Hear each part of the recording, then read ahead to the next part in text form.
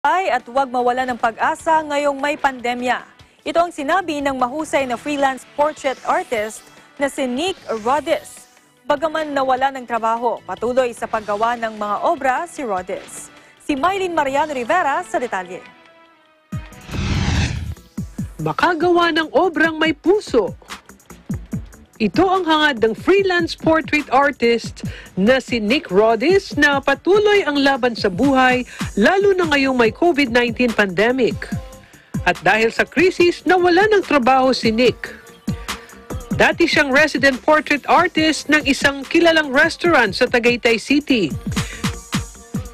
Kaya naman tuloy lang ang pagpipinta ni Nick mula nitong Marso para kumita at masuportahan ang kanyang pamilya. Masdan ang kanyang nagawang sining.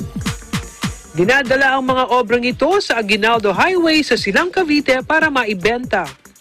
Target kasi ni Nick na makabili ng second-hand pickup truck para doon isakay ang kanyang mga natatapos na painting.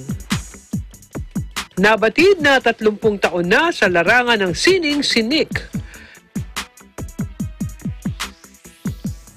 Dati na ring nagpamalas ng kanyang husay sa paggawa ng portrait sa himpilan si Nick.